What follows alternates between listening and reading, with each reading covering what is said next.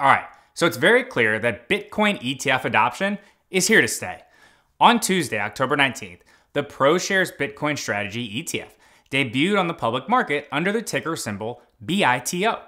Now, on Wednesday, Grayscale launched their own futures ETF, and I'd expect to see more Bitcoin ETFs launching regularly over the next few months. Now, anything I say going forward regarding upcoming Bitcoin ETF launches is, is just pure speculation. Trust me. I have no idea how this will widely play out, but I do think it's widely accepted, and I think we should treat these ETFs as here to stay. So, in today's video, we're going to be covering the Bitcoin Futures ETF, the Bitcoin ETF, and then how that might change the investment landscape when it comes to investing in crypto. Bitcoin and cryptocurrency overall has come a long way in the last few years. In 2017, the price of Bitcoin skyrocketed up from about 1,000 early in the year to just over 19K by the end of the year. That's when the general public really took notice of crypto. But during 2018 and 19, the price of Bitcoin stayed around 10K and even dropped to as low as 3K at one point.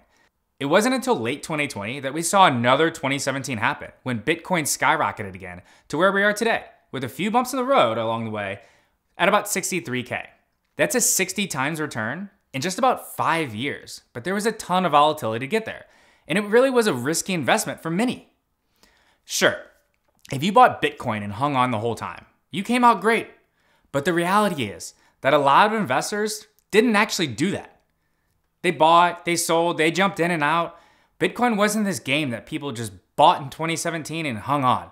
Clearly, Bitcoin may not be a safe investment for all investors. So, now let's talk about the Bitcoin ETF and what it's really about. Well, the SEC does not currently allow an ETF that tracks the price of Bitcoin. So, the only ETFs available to retail investors, you and me, are actually funds that track the future prices of Bitcoin, referred to as a futures ETF. This is a lot different than a standard ETF. The Futures ETF does not invest directly in Bitcoin and does not allow you to track the price of Bitcoin in the same way that buying Bitcoin actually does. But it does give the retail investor a way to include crypto futures exposure in your regular brokerage account. So first, let's talk about how a standard ETF even works, right? We've all heard it. ETFs are exchange traded funds that hold individual stocks and allow you to gain exposure to a broad range of stocks. While ETFs can also hold investments such as commodities or bonds, the most common way ETFs are used is in holding stocks.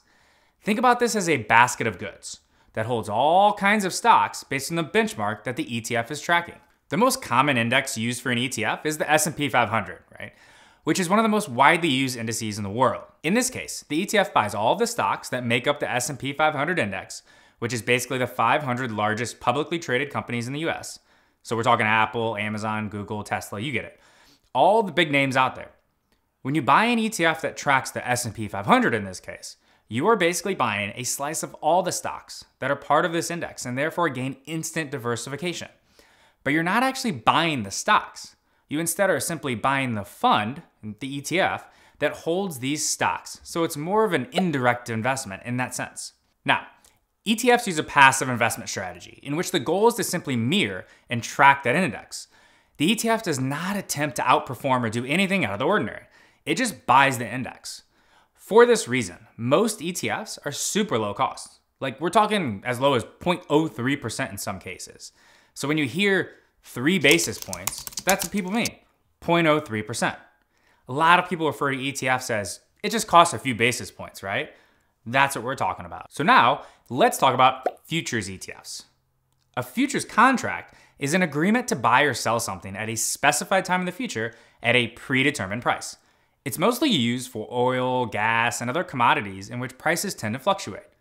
The buyer of a futures contract is taking on the obligation to buy and receive something in the near future at a predetermined price. And on the other side of it, the seller is required to provide that asset at the expiration date. A futures contract allows an investor to speculate on the direction of the security, commodity, or financial instrument using leverage. Futures are also used to hedge the price movement of the underlying asset to help prevent losses from unfavorable price changes. Because of the constant fluctuation in oil prices, for example, futures are often used for this type of commodity, and it's one of the most direct ways to actually invest in oil. Another great example is farmers and corn. Corn tends to fluctuate on a daily basis, but the price that you and I pay at the store doesn't fluctuate. It's just really the price that the farmer can sell his or her corn to the third party. So in this case, farmers actually will sell futures contracts as part of this relationship that they have with the public so that we don't actually pay, you know, $4 one day or $5 the next day. Price stays flat. Now, futures contract and futures in general refer to the same thing. For example, when someone says futures contract, they're typically referring to a specific type of future, such as the oil, gold bonds, or S&P 500 index futures. So when referring to the Bitcoin futures ETF, this tracks contracts that speculate on the future price of Bitcoin, rather than the current or spot price of the cryptocurrency itself. As a result, the prices of the ETF and Bitcoin usually will not match this. This means that the price of a futures based ETF could trade at a premium during a bull market or a discount during a bear market.